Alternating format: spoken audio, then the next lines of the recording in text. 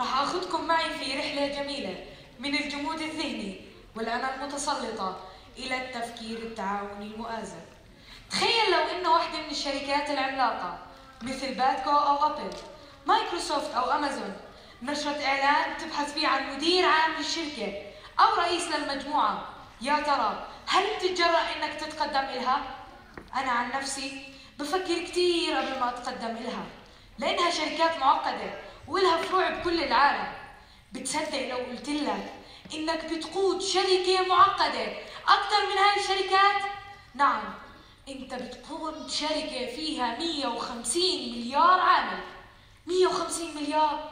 من وين أجوا كل هدول؟ كل سكان الكرة الأرضية ما بوصلوا 8 مليار. أنا مصر أنت بتقدر تقود أي شركة بتشتغل فيها وتخليهم كلهم يشتغلوا بنفس التنسيق. المدير؟ هو اللي بحدد طريقة العمل. إذا المدير كان عبقري ودارهم ببراعة وذكاء كلهم بيمشوا بنفس التنسيق. عشان هيك أبهرتني عبارة لاوتسي لما حكى راقب أفكارك لأنها بتصير أفعال. وراقب أفعالك لأنها بتصير عادات. وراقب عاداتك لأنها بتصير طباع. وراقب طباعك لأنها بتشكل شخصيتك وبتحدد مصيرك. معقول مصيرنا بتحدد؟ كلمات وعادات وأفعال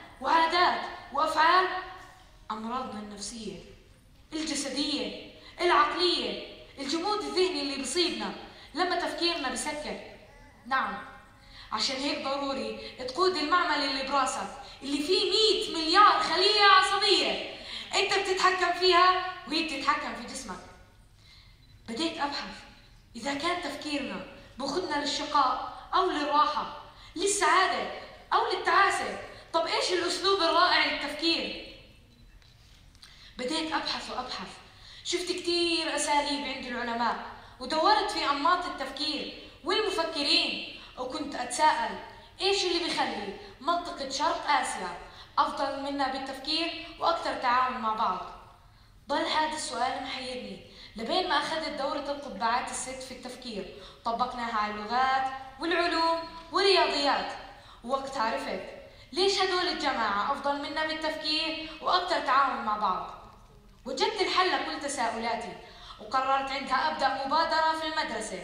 لمدة سنة نحول فيها التفكير التنافسي اللي بيعتمد على حدا رابح وحدا خسران ونتبنى استراتيجية الكل رابح من خلال فكرة ننجزها من كل الموجودين. وكانت فكرة القبعات الست بتعتمد على التفكير المتوازي وحتى نفكر بأي موضوع لازم نمر بأكثر من مرحلة. أول مرحلة جمع معلوماتنا وتحديد حجمها ومصدرها من غير استنتاج ولا تحليل إنما وصف فقط. والمرحلة الثانية البحث عن إيجابيات الموضوع أو المعلومات ويرمز لها بالقبعة الصفراء. والمرحلة الثالثة حتى لا نبقى حالمين ولا نحسب العثرات والأزمات والمنزلقات.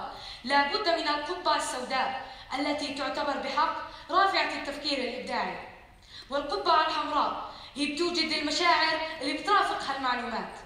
إلى هنا يكون التفكير عاديا ويراعي المستويات الدنيا من التفكير.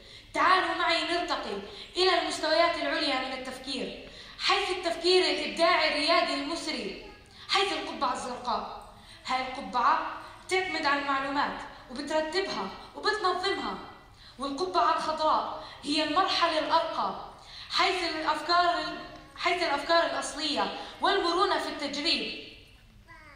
إلى هنا حيث الأفكار الأصلية والمرونة في التجريب أعزائي الحضور أنتم في داخلكم السكر الذي يحتاج إلى تحريك حتى تجدوا أثره